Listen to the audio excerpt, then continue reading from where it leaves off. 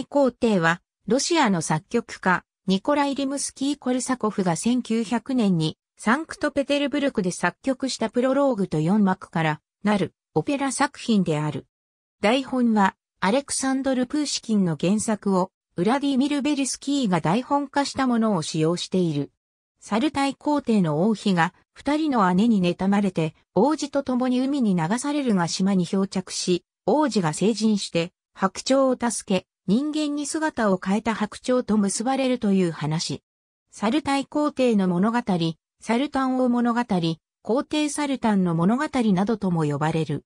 1898年から翌年にかけて、リムスキー・コルサコフとベリスキーは共同して、プーシキンの死をなるべくそのまま活かした台本を作った。作曲は1899年から翌1900年にかけて行われた。ベリスキーは、サトコのリブレット作成の協力者の一人であり、本作品の他晩年の二つのオペラ、見えざる街、キーテジと聖女フェブローニアの物語及び、近景のリブレットの作者でもある。初演は1900年11月3日、モスクワのソロドブニコフ劇場で、ミハイル・イッポリトフ・イワノフの指揮によって行われた。約2時間半舞台はトムタラカン。村娘の三姉妹が糸を紡ぎながら、自分が皇妃になったら何をしたいか、それぞれの夢を歌う。たまたまそれを外で聞いていた皇帝サルタンは、末娘が言った強くて勇敢な息子を産みたいという希望を立派なものとして彼女を自分の日にする。二人の姉と母親は彼女に嫉妬し、復讐する機会を狙う。皇帝サルタンが戦争のために出征中に、皇妃は出産するが、二人の姉は彼女が怪物を産んだというデマを広める。皇妃、ミリトリサは、巫女誕生の知らせを皇帝に伝えに行った死者が帰って来ないので心配している。同家氏と老人が皇妃の気分を和らげようとする。そこへ死者が皇帝からの手紙を持って帰ってくるが、二人の姉と母は手紙の内容を皇妃と巫女を海に投げ捨てよという指令にすり替える。皇妃と巫女は村に入れられて海に流され、人々は嘆く。海を漂うたる。イヴァン・ビリビンガソンは、ブヤン島に流れ着き、ミコ・グビドンは立派な若者に成長した。グビドン係の最中、トビに襲われている白鳥を助ける。翌朝、島は輝かしい都市に変わっていた。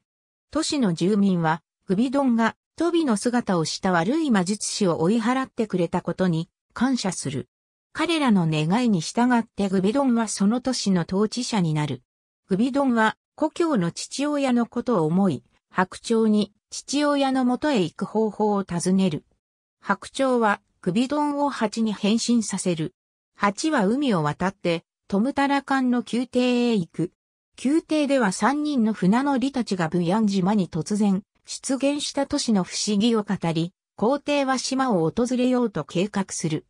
ミリトリサの二人の姉と母はそれを止めさせようとするが、蜂に刺される。島に戻ったグビドンが妻が欲しいと白鳥に訴えると、白鳥は自分自身が姫であることを明かす。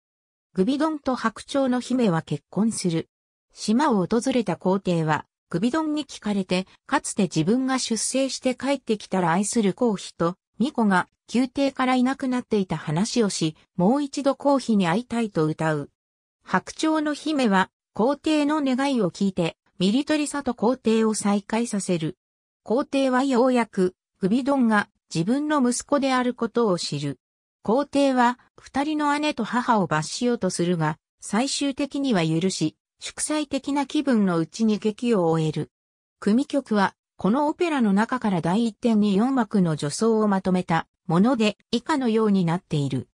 第3幕の感想曲である熊鉢の飛行が有名。ありがとうございます。